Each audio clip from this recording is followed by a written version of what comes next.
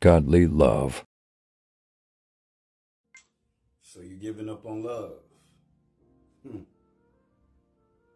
Listen, there's a love out there that will love you in a way that will put your past to shame. Mm. True love.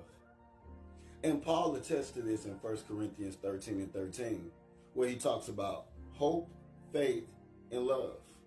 See, love is your greatest weapon. Love can conquer any and all things.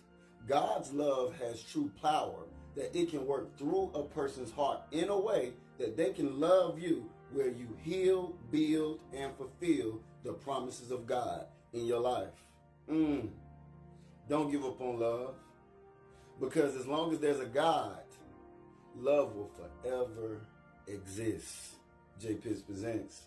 I am your life coach, and class is dismissed. Mm-mm.